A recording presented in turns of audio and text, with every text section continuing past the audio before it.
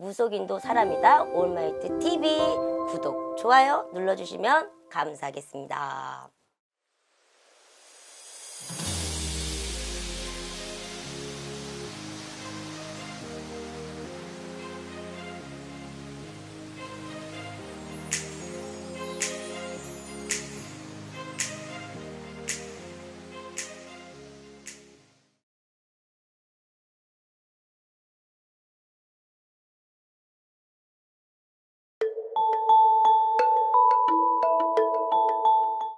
그러면 열아홉 말띠 열아홉. 천박직중 마골피지 뭐.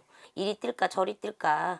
이때 되면 고3이잖아. 참 어머님 스트레스 많이 받고 아들도 스트레스 많이 받고 딸도 스트레스 많이 받고. 이 아홉 수에 참 이 고3에 내가 재수를 하냐 대학을 어떻게 가야 되냐 말아야 되냐 많이 그러잖아. 근데 괜찮아. 말띠들이 열아홉에 합격운들이 많아. 열아홉에 자손을 두고 서른한 살에 자손을 둔 분들이 있을 거 아니야. 그러니까 열아홉 살 때문에 너무 고민하지 말아라 그래 부모님들 지가 노력하는 만큼 내년에는 성과를 얻는 해운년이야. 19살들이 대체적으로 그래도 시험에 합격의 운이 높아. 그래서 좀 희망을 가졌으면 좋겠어. 그러니까는 내년에 괜찮아.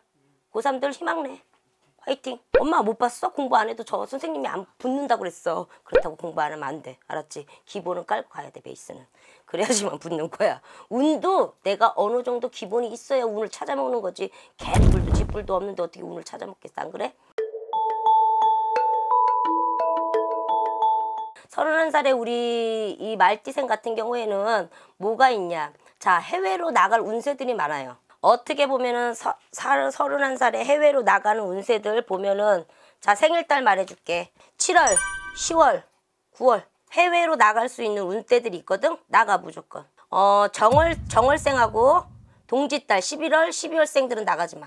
이 사람은 내가 해외에 나가는 운세가 물론 있다고는 하지만 사주에 있다고는 내가 나가면은 조금 안이 좋다. 내가 해외에 나간다 하더라도 내가 이루고자 하는 일보다는 마이너스가 돼서 많이 오는 운세야. 43살 말띠 같은 경우에는 대체적으로 내년에 말띠들이 이런 공부 쪽이나 이런 거는 괜찮은데 이 뭐랄까 마음에 좀 병들이 많을 것 같아. 어떤 느낌이냐면은 왜 그 뭐라고 해야 되지? 미친년 널뛴다고 그래야 되나? 술을 좀 많이 드시는 분들은 자중했으면 좋겠어. 술 먹고 내년에는 경자년의 말띠 같은 경우에는 조금 기운들이 안 좋은 기운들이 조금 많이 돌아서 이 술을 좀 좋아하시는 분들은 다칠 수 있는 확률이 좀 높아. 좀 물하고 연관되는 거는 조금은 되도록이면 멀리 해라. 물놀이도 이왕이면 좀 조심하는 게 좋겠지. 내년에는 머리 아플 일이 좀 많아. 그러니까는 조금 조심조심 해라. 쉬운 다섯 같은 경우에는 어 뭐라고 그럴까? 앉은 터전이 편치가 못하다 그래.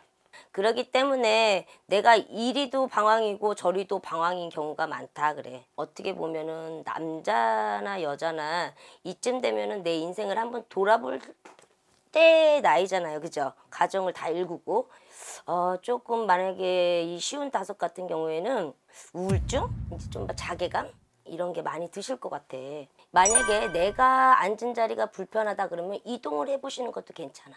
이사를 가는 것도 괜찮고 직장은 안 돼. 이 정도 되면은 직장이 어느 정도 안정권에 들어있기 때문에 이제 퇴직이 얼마 안 남았는데 가서 옮기겠어 안 그랬어? 그 대신 사업은 하지 마셔. 우리 쉬운 다섯에 같은 경우에는 내가 만약에 인천에서 살고 있다 그러면 뭐 가평으로 가고 싶다 평택으로 가고 싶다 그렇게 뜨는 것도 괜찮으셔. 그렇게 하시면 되겠고 조금 마음이 마음이 조금 많이 가라앉을 것 같아.